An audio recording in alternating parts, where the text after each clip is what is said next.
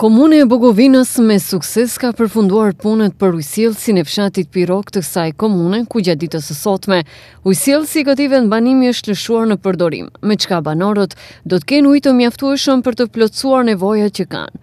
Kryetari i Komunës së Bogovinës, Albon Xhemaili është shprehur i kënaqur me realizimin e këtij projekti dhe paralajmëroi se aktivitete dhe projekte të ngjashme në përmirësimin e infrastrukturës dhe jetës së banorëve të komunës së Bogovinës do të realizohen edhe në të ardhmen. Është një moment shumë i veçantë për na si komunë, si administratë komunale, për banorët e vendbanimit Pirok, po ashtu edhe nga ministria. Sot që sot vendbanimi Pirok do të furnizohet me shtesë ujë plus 20 litra në sekondë. që besoj që është zgjedh një problem me dekada të cilat nuk është zgjedh dhe tani përfundimisht vendbanimi Pirok do të furnizohet me ujë për pije.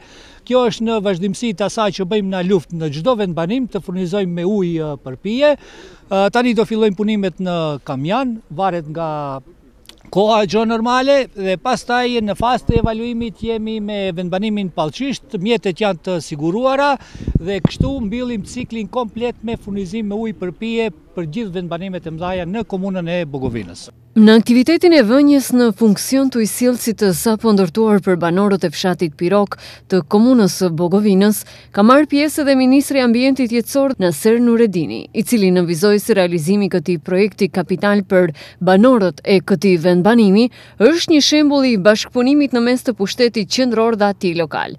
Nuredini premtoi se qeveria dhe ministria që ai drejton do të vazhdojnë që të mbështesin projekte të këtilla në komunat e Pollogut. Kjo është një shembull se si mund të funksionojë kur pushteti qendror bashkëpunon me pushtetin lokal. Kemi mendim në të mirën e qytetarëve kur rregullohen projekte si ujësjellës edhe projekte tjera.